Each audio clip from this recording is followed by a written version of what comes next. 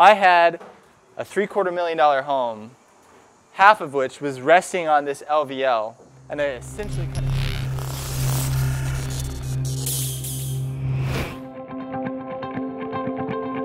Hi, I'm Joel Welsman, CEO and Master Electrician of Jefferson Electric. In previous videos, we've talked about code compliant locations for outlets around the home. Yes, the code speaks to everything and where the outlets are located. If they're in the floor, distance from the wall. If they're in the wall, height above the floor. All of these things are governed and parameters are given by the National Electrical Code. In this video, we're going to talk about the concept of running wiring throughout the room. So we, we talked about how the home run is coming from the electrical panel. The home run should be labeled, it is significant, and at Jefferson Electric, we've made a conscious decision to run home runs to the switch box. Because guess what? At the end of the job, when everybody is you know, two, three months removed from what took place behind the walls, all the drywall's in place, if there's a glitch and something isn't working right, the diagnostic benefit of knowing the routing and the final destination of the home run and that it is in the switch box and the insight that gives into troubleshooting and repairing a circuit at that time or later down the road for any houses we've wired is extremely beneficial. I recommend consistency. Even if there is a small sacrifice to efficiency, consistency will yield the greatest returns over time. And the sacrifice to efficiency would be this. What if the switch box is not located in the most convenient location to be the first destination for the home run, well, guess what? The consistency of each room being wired in the same fashion will yield better results long term. So in this situation, as we always do, we have decided to exceed code minimum because code minimum is the minimum allowable standard, but that's not optimal in this circumstance. This master suite, bedroom and closet are on one dedicated 15 amp breaker. The breaker size corresponds to the wire size and it is not shared, meaning this circuit is dedicated to this space and is not shared with the bathroom, the hallway, or any other aspects of the house. Now, I want you to understand this too. The word notch, when it comes to framing, is a dirty word. We can drill framing members typically without any kind of uh, repercussions. LVLs should not be drilled without contractor approval or supervisor approval. But notching the wood, cutting a notch out of the wood, should never be done. Notch is a bad word when it comes to joists, rafters, and in particular, LVLs. This is a true story. I made this mistake one time because I didn't understand the structural integrity of an LVL in full. I was approved to drill three quarter inch holes through an LVL and essentially as many as I needed. So I decided to kind of lay them out and drill them, you know, spread them out. And so I drilled one here and I drilled one there and I, I had a whole bunch of home runs to pass through this LVL.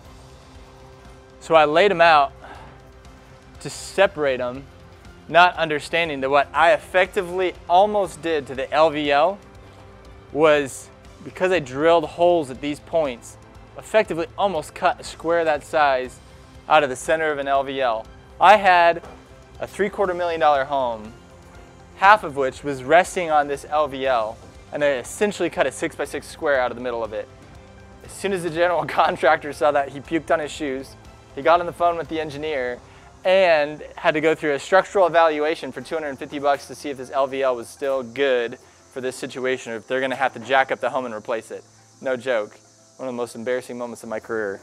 So at each location here, in the entire room, every blue box, one, two, three, four gang, makes no difference. Every blue box is required to have a hot feed.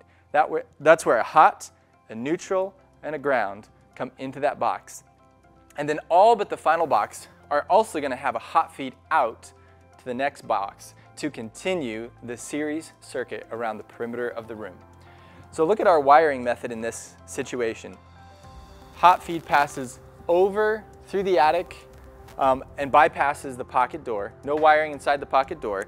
And then from this point, rather than up and down the ladder, for the sake of time, we've drilled holes through the studs and routed around the perimeter of the room. The corners here get pretty congested. Thankfully, this corner is hollow on the backside, and so we're able to route wiring through there.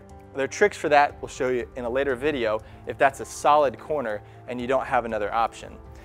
Wiring then routes box to box to box around the perimeter of the entire room to complete the branch circuit. So the home run comes in, and the analogy is like this. The trunk of the tree is the electrical panel.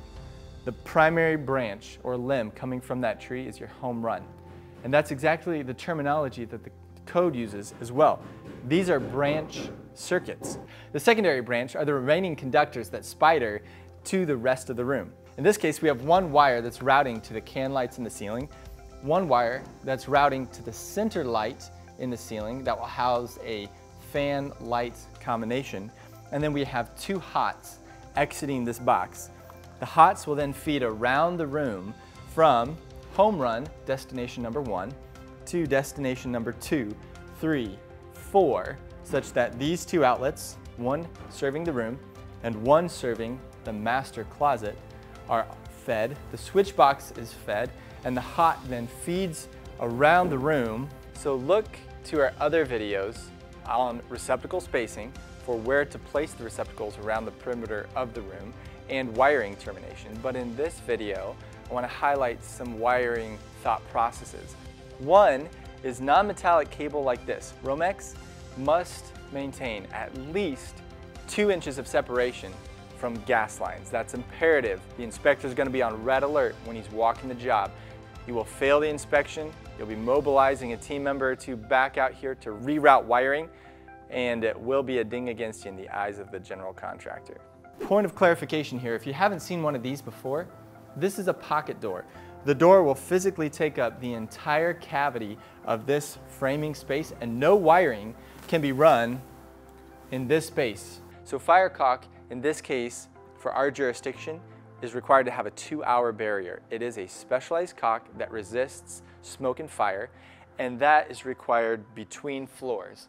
So in all the penetrations, whether used or unused, in bottom plates and top plates, all vertical penetrations are required to be caulked in this manner, where the caulk circumferences the wire and divides every wire in that hole such that they're completely, each one independently, completely circumferenced, sealing a spread of smoke and fire.